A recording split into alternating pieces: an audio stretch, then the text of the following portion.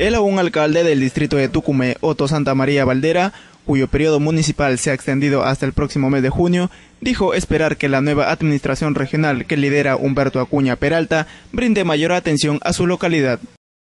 Eh, nuestro mandato ha sido eh, prolongado, diríamos, pero hasta que haya nuevas elecciones. Mientras eso, continuamos con el trabajo.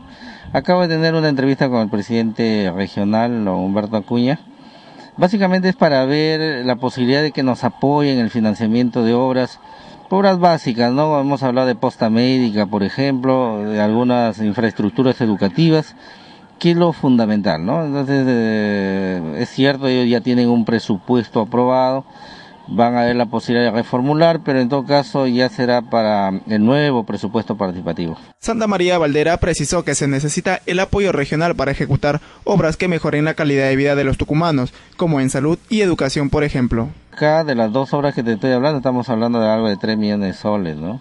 3 millones de soles.